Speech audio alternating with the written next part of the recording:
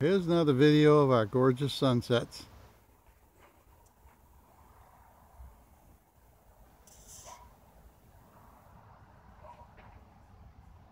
How about that, huh?